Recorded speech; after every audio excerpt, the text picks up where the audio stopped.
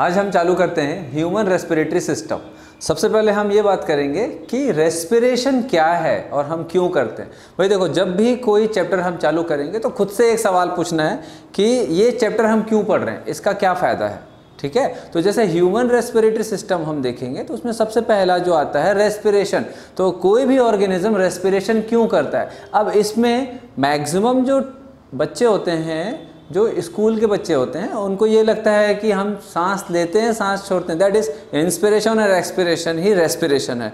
Inspiration और expiration respiration नहीं है बेटा। वो सिर्फ़ एक पार्ट होता है रेस्पिरेशन का। तो क्या है रेस्पिरेशन ये हम देखेंगे।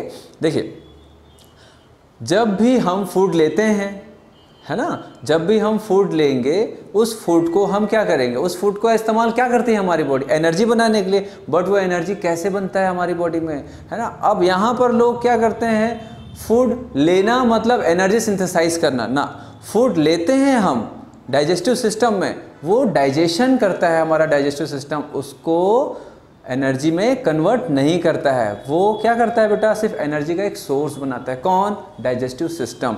वो जो एक एनर्जी का सोर्स है, वो हमारी बॉडी में एब्जॉर्ब होगा देन बॉडी के हर एक सेल तक जाएगा और बॉडी का हर एक सेल क्या बनाएगा? उस फ़ूड से एनर्जी बनाएगा। तो वो जो फ़ूड हम खाए हैं इनटेक किए हैं वाटर जो हम पिए हैं, वो उससे हम कैसे एनर्जी बनाएँगे? ठीक है? यहाँ देखेंगे, एक सेल है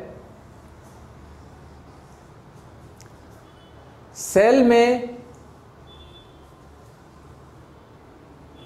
फ़ूड की ज़रूरत है तो हर एक सेल को फ़ूड कौन ले जाकर देगा? ऑब्वियसली ब्लड ये ब्लड है, ये ब्लड वेसल है। हर एक ब्लड वेसल सेल के पास से गुजरता है और ब्लड में जो भी न्यूट्रिएंट है for example glucose water oxygen ये सारा का सारा ग्लूकोज, वाटर, ऑक्सीजन, जो अदर न्यूट्रिएंट है, ये सब क्या होगा बेटा?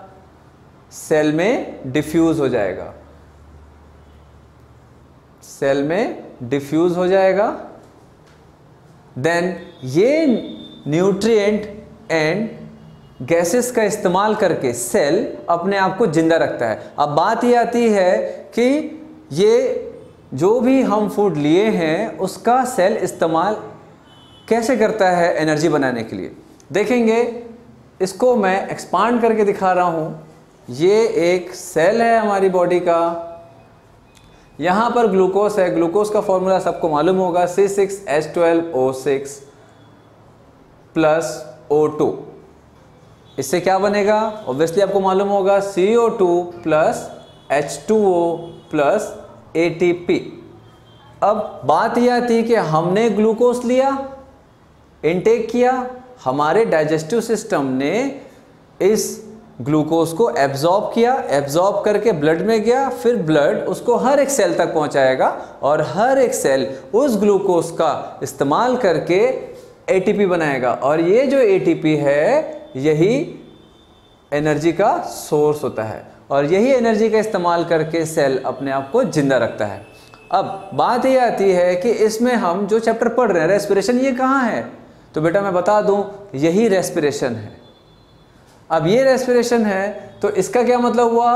फ़ूड मॉलिक्यूल को ऑक्सीजन से ब्रेक करके हम एटीपी बना रहे हैं और उस एटीपी का इस्तेमाल हम एनर्जी प्रोड्यूस करने के लिए कर रहे हैं और हर एक सेल इसी एनर्जी का इस्तेमाल करके अपने आप को ज़िंदा रखता है। अब बात ये आती है, मैं जैसे सवाल पूछूँ आपसे तो क्या रेस्पिरेशन के लिए हमको इंस्पिरेशन और एक्सपिरेशन करना ज़रूरी है?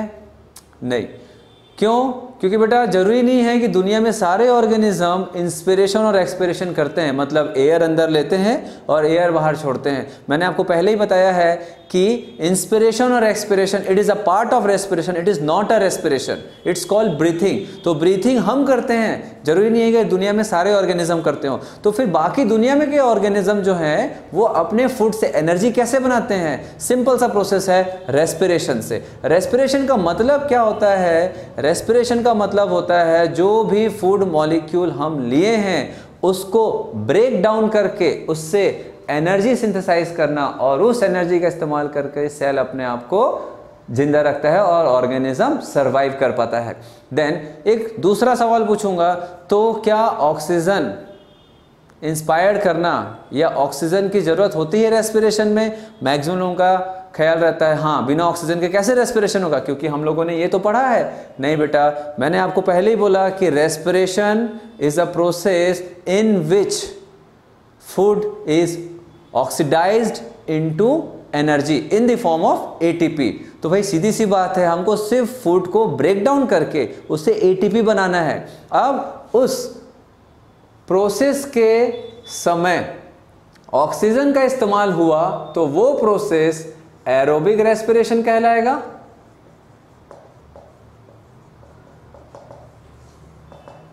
और अगर इस फ़ूड के ब्रेकडाउन के प्रोसेस में ये फ़ूड अगर बिना ऑक्सीजन के that is absence of oxygen के, अगर वो एटीपी सिंथेसाइज कर सकते हैं तो इस प्रोसेस को हम बोलेंगे एन एरोबिक रेस्पिरेशन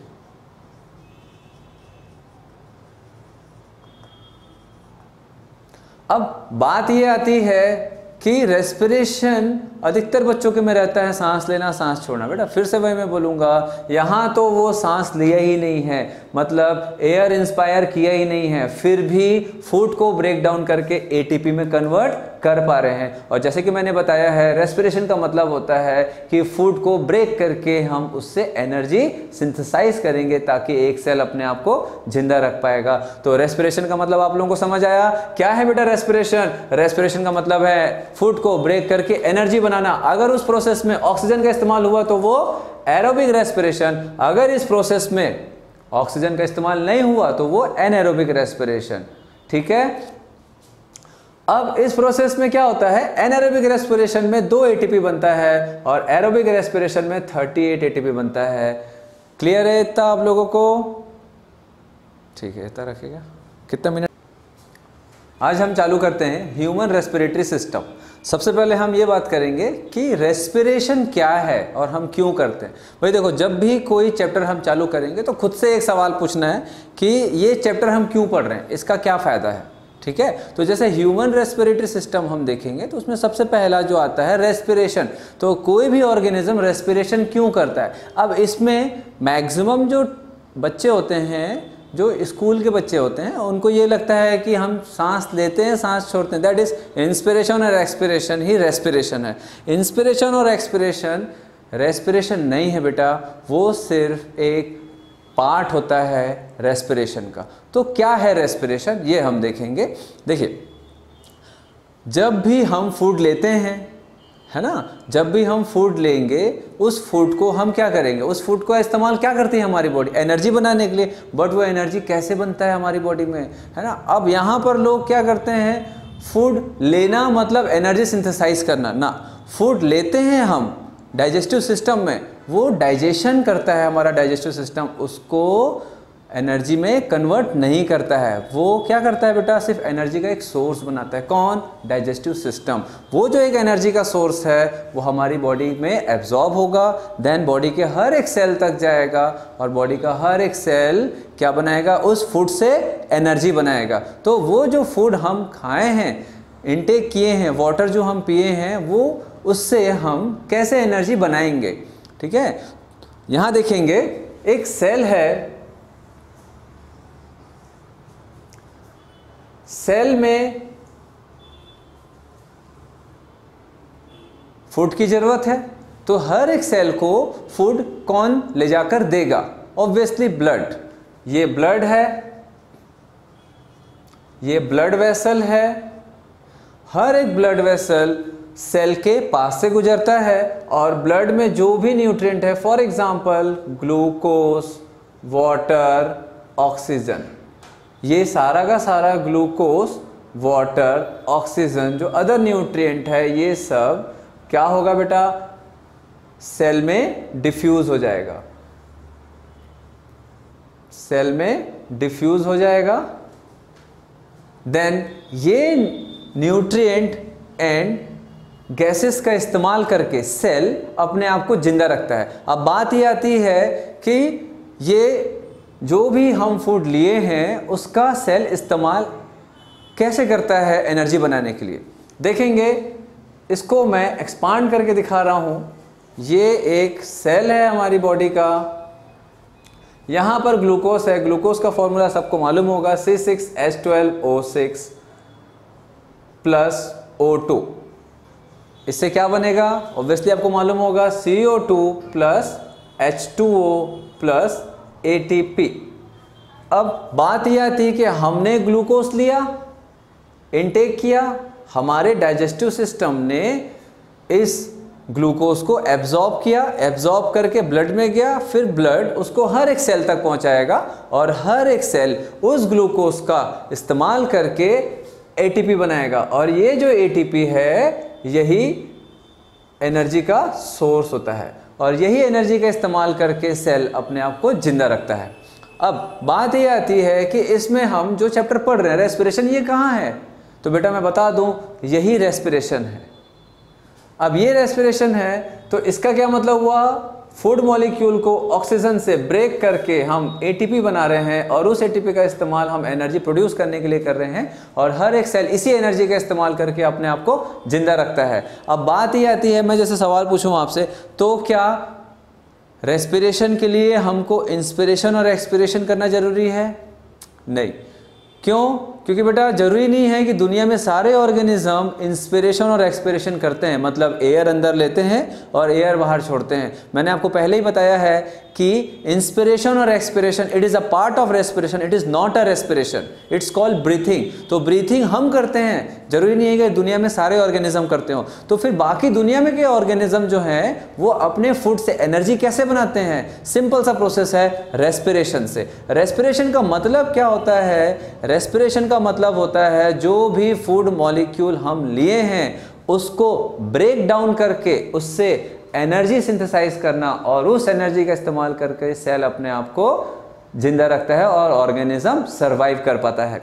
देन एक दूसरा सवाल पूछूँगा तो क्या ऑक्सीजन इंस्पायर्ड करना या ऑक्सीजन की ज़रूरत होती है रेस्पिरेशन में? मैक्सिमम लोगों का ख्याल रहता है हाँ बिना ऑक्सीजन के कैसे रेस्पिरेशन होगा? क्योंकि हम लोगों ने ये तो पढ़ा है। नहीं बेटा, मैंने आपको पहले ही बोला कि respiration is a process in which food is oxidised into energy in the form of ATP तो भाई, सीधी सी बात है, हमको सिर्फ़ फ़ूड को ब्रेक डाउन करके उससे एटीपी बनाना है।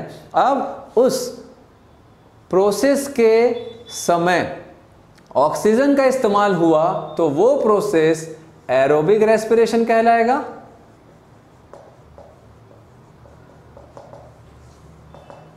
और अगर इस फ़ूड के ब्रेकडाउन के प्रोसेस में ये फ़ूड अगर बिना ऑक्सीजन के that is absence of oxygen के, अगर वो एटीपी सिंथेसाइज कर सकते हैं तो इस प्रोसेस को हम बोलेंगे एन एरोबिक रेस्पिरेशन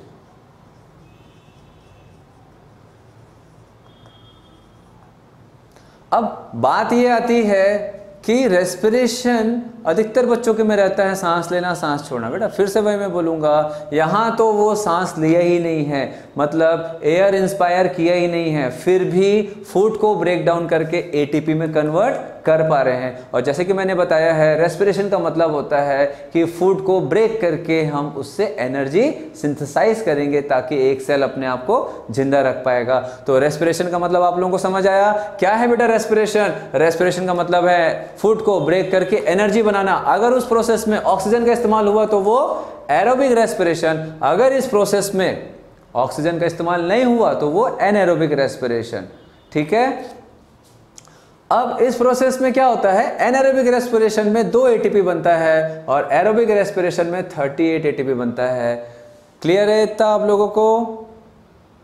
ठीक है, इतना रखेगा कितना